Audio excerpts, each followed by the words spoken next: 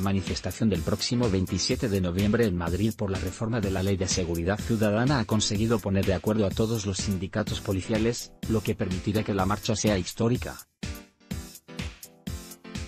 Los diferentes sindicatos pretenden reunir a 100.000 agentes de diferentes cuerpos para poner en apuros al gobierno de Pedro Sánchez en una protesta que puede dejar muy tocado al ejecutivo de PSOE y Podemos.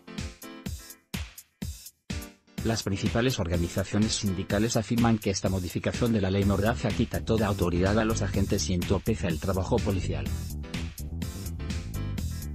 Nos van a mandar a la guerra sin los medios adecuados, y además el gobierno nos aboca al enfrentamiento cuerpo a cuerpo, dice el sindicato de Jupol tal y como explica el diario El Mundo.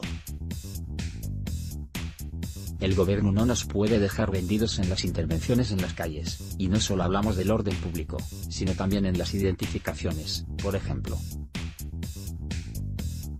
Sin duda es un atropello a las fuerzas y cuerpos de seguridad del Estado y por eso hemos dicho basta.